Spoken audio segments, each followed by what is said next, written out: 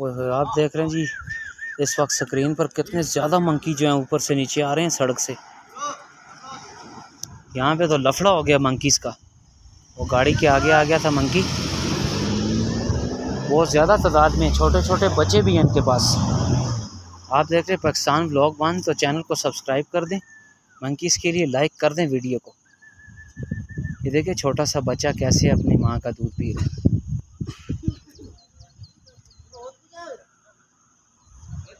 बड़ी तादाद में यहाँ पे मंकी हैं जी, बहुत ज़्यादा मंकी हैं।